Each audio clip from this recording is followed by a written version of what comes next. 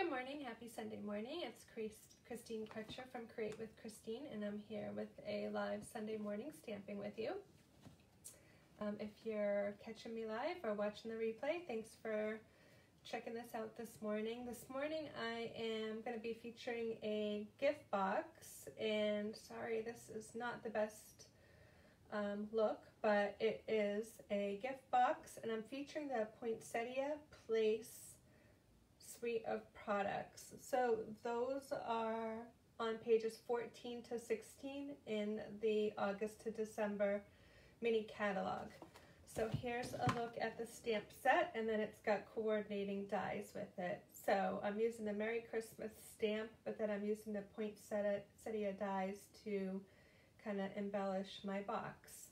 So I'm going to point the camera down and go ahead and get started. So hold tight for just a minute. Okay, so here's my project for today. I'm to make sure I can find myself in my feed just to make sure I am in the frame. And I hope the volume is okay this week. It was a little bit quiet last week, so I tried to make sure my volume was up before I started. It's um, kind of a really kind of gloomy cloudy day here, so my lighting is not the best this morning. Then when I added lights, it was too bright. So you can't win. Okay, I am not popping up in my feed, so there is a delay. But again, this is the box we're gonna make. And I wanted to feature the designer series paper because it's on sale through the end of this month, which is this Saturday, October 31st and there's a bunch of, there's 15 of the designer series papers that are on sale. So I just wanted to make sure everybody was aware of that sale. And again, here's a look at the stamp set. So let's go ahead and do the box first. So I'm to do the lid first. And what I did was I cut out all the pieces ahead of time. So just to save time on the video, I have a 6 by 6 piece of the Poinsettia Place Designer Series paper. And what I did is I went ahead and I scored at one and a quarter on all four sides. So I did that ahead of time just to save time here. So I know it's hard to see because this pattern's a little bit busy, but maybe you can see a little bit better on this side. So what I'm gonna do is just fold. You could use a bone folder here too. I don't have mine handy. I should have grabbed it, but I did not. So just fold. And then what we're gonna do is we're gonna cut on two sides up to the score lines. So I'm just gonna bring over my paper snips. Super simple. We're gonna make two snips on either side. So one snip there, one snip there, and then we're gonna flip, rotate, and then another snip here. And another snip here. Trying to stay in the frame as much as I can. Okay, so then this is gonna be our box lid. So what I want to do is I want to adhere my tabs inside so you don't see my seams. So I want to put adhesive on all four of my tabs. And again, this is a little bit busy. I'm going to use tear and tape adhesive. So once you have the measurements for this box, you can make this for any season. It actually holds three by three cards. It's about three and a quarters on the bottom so it will hold three by three cards and envelopes. And it my box, my sample right now, I've got four of the standard Stampin' Up! spools of ribbon. So it holds quite a bit. Could put a small gift, candy. So just to kind of give you a frame of reference. Okay. So after I do my tear and tape, I kind of like to burnish a little bit with my fingernail. And I also didn't grab my take your pick tool, but you could actually use your take your pick tool to help get your adhesive off. So I'm just gonna remove, I'll just do one kind of side that I'm in the camera. Okay, so then what I wanna do is put my tab behind. And if you find that you have a little bit poking out, it's not a problem at all. You can snip off with your paper snips.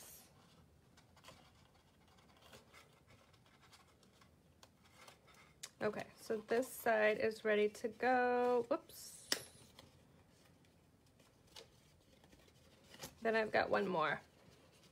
So we're going to repeat this process with the box bottom. The box bottom, I'm using Garden Green cardstock to coordinate with the designer series paper. It's an 8 and 3 8 square piece, so you can use an 8.5 by 11 piece of cardstock. And I'm going to score that piece, or I actually did score, at 2.5 on all four sides. So again, here is the lid, and the lid was a six by six piece of cardstock. And so it's great because 12, this is a 12 by 12, so you have no waste if you were to make a whole bunch of boxes. And we scored at one and a quarter on all four sides to make the lid. Okay, so let's bring over the bottom. So again, this is Garden Green, 8 and 3 eighths by 8 and 3 eighths. And what I did was scored at two and a half on all four sides. So now we're just gonna fold.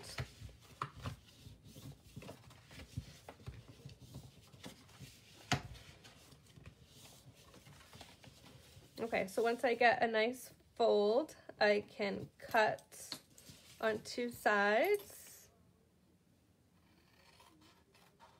up to the score line.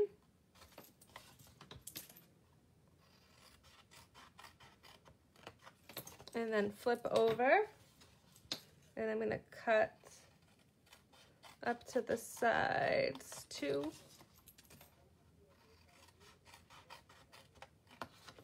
And then we're just going to repeat and do our tear and tape. So I want my tabs to go on the inside. So I'm actually going to flip over this time and do my tear and tapes on all four tabs. So this is about as easy I can get for making a box from scratch.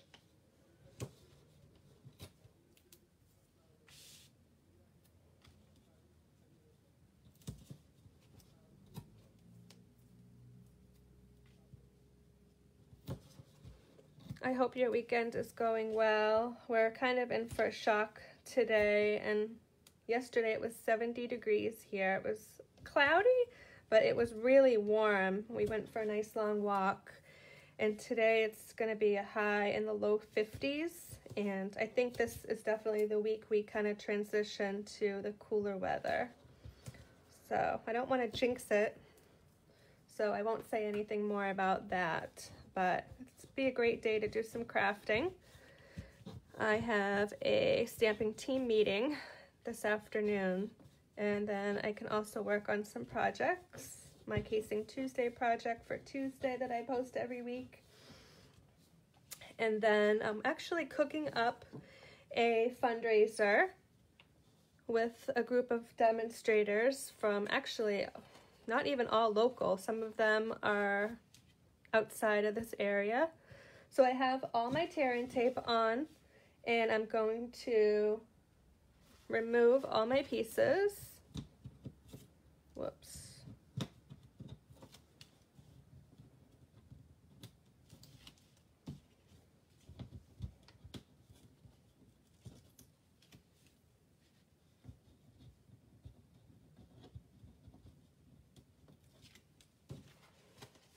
Okay, so I just want them to go inside like so.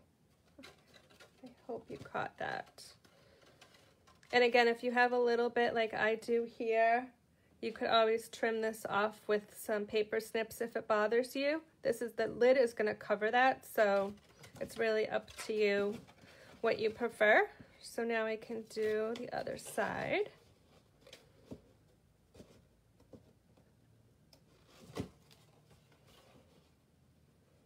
So the fundraiser would have been next Saturday. It's Stamp Out Breast Cancer, and we've done it for 10 years.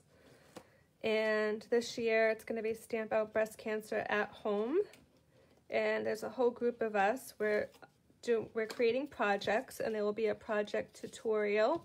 So if you buy the tutorial, if you donate to the charity, which is Making Strides Against Breast Cancer, you'll get a 16 card tutorial. So I'll have more details out on my Facebook and blog this week about that. So I've got my box bottom all set. So again, for the bottom, it was a piece of Garden Green cardstock, 8 and 3 eighths by 8 and 3 eighths, and then I scored at 2.5 on all four sides. So I've got my lid and my bottom, and I'll put the measurements below so that fits beautifully.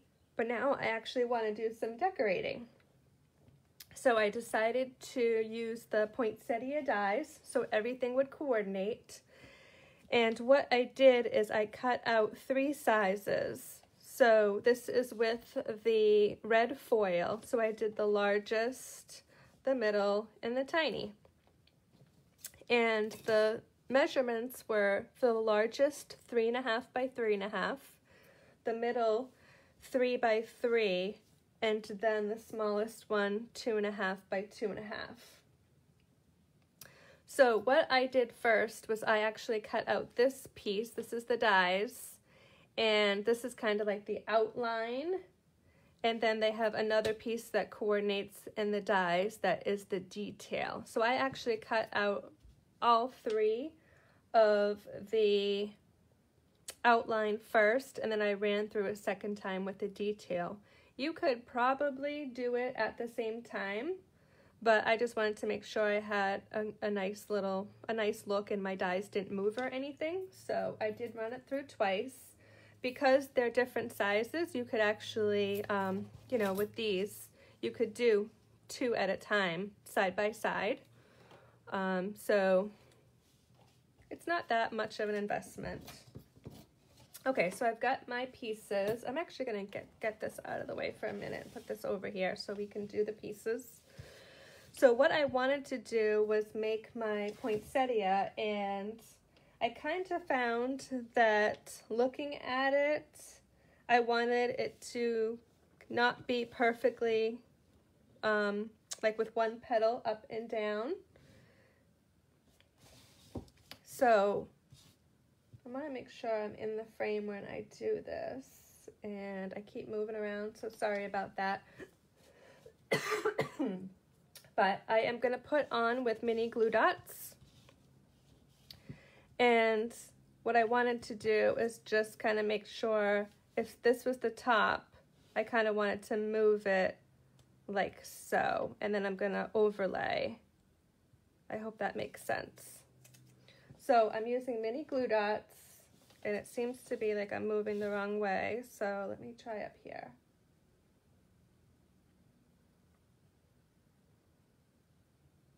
Okay, I think that is better.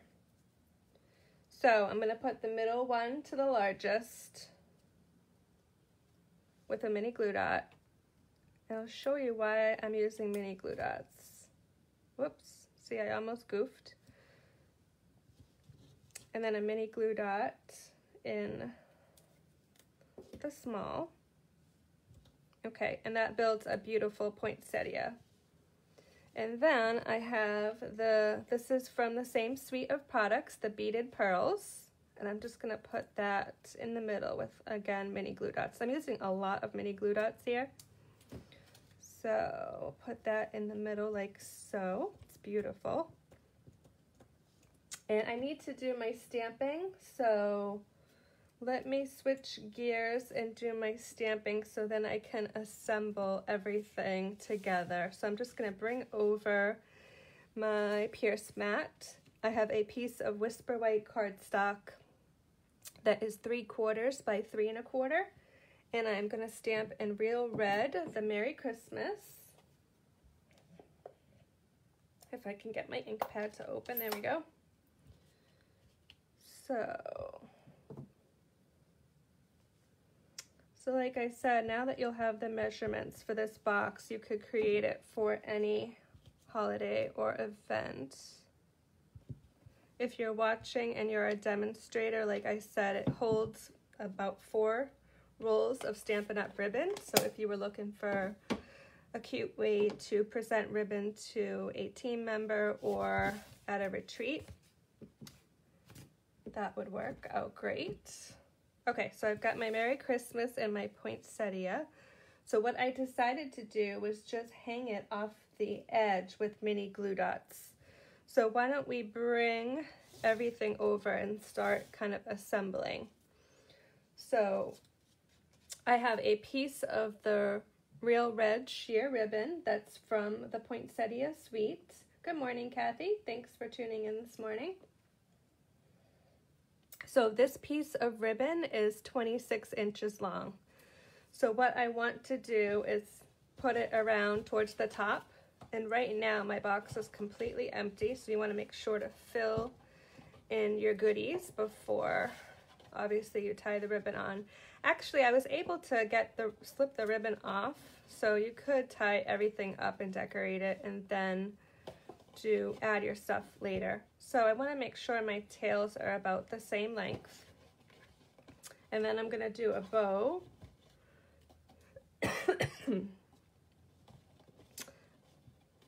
I obviously needed to have some water and I don't have any water at the handy, so, oh, right when I go live, I start coughing.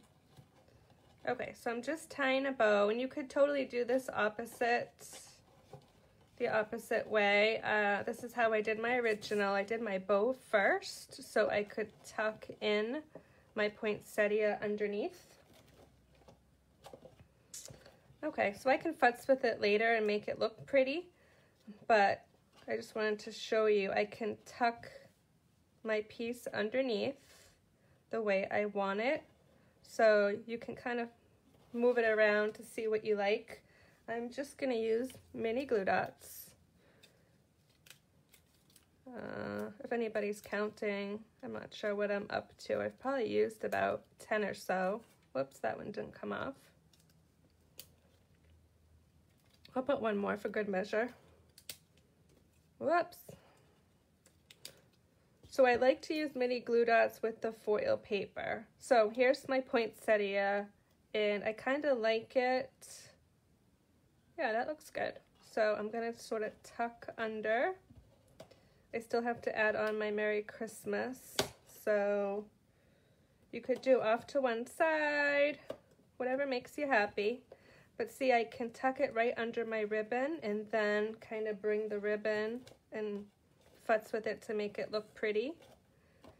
And then my Merry Christmas that I stamped, I can kind of tuck under and hang it off the side like so. So I'm going to put, of course, what? A couple more mini glue dots. I like to use them when I'm using the foil because it's shiny paper and let me tell you, the hardest part about using it is trying to not get your fingerprints on it while you're cutting it and working with it. So I'm just going to hang this kind of off the side. I tried to decide, do I want it down the bottom? You could do down the bottom, hanging off the corner. You could poke a hole in it and tie it from your bow. So again, whatever makes you happy. So because I only put glue dots in the center of my poinsettias, I can actually flip up my petals to give them a more 3D look. So I just said earlier, you'll see why I only have the mini glue dots in the center. So again, here's my original. And then here is the one we just made together. So I can futz with the bow and make this look pretty later. But these boxes will hold three by three cards and you could actually decorate them to coordinate for like Christmas tags and they would hold uh, about four rolls of Stampin' Up! ribbon. So you could get or a whole bunch of candy or a small gift. So just a couple different ideas of what to do with these boxes and I'll have the measurements below. So switching gears, I just wanted to quickly mention that I have a product-based class and registration is closing this Wednesday. So I just wanted to show the cards really quick. This is card number one and card number two. Wow, I'm dropping them. Card number three and card number four. So this features the Wrapped in Christmas stamp set, the Tis the Season Designer Series paper, the Wonderful Gems, and the, I believe it's Wonder of the Season ribbon combo pack. So you're going to get a quarter pack of the Designer Series paper, a full pack of the ribbon, and a full pack of the gems. So you can find the details on my blog at christinestamps.blogspot.com. And you can sign up for that. Registration is going to close this Wednesday, October 28th. And actually, I'm just going to bring the camera back up to finish up. And just wanted to say again the Designer Series paper sale at 15% off. The 15 papers that are on sale ends this Saturday, October 31st. So don't forget about that. On our website at stampinup.com, you can see the papers that are on sale. There are a couple that are on back order or low inventory. So if you have questions about that, um, let me know because I can find out when they are expected to come off of back order. And let's see, like I mentioned, I am part of a Stamp Out Breast Cancer at Home fundraiser that we normally do in person every year, this time of year. So I'll have details out this week about that. But if you donate to the charity, you will get a 16 card tutorial, and it's actually four different stamp sets so it's a really great value. So I would appreciate uh, being as generous as you can when you see that come out to my mailing list. And if you're not on my mailing list, please shoot me a message. You can actually sign up at my blog to christinestamps.blogspot.com. And yeah, that's it. Have a happy Halloween on Saturday, and I will be back on Sunday with another project to share. Have a great week.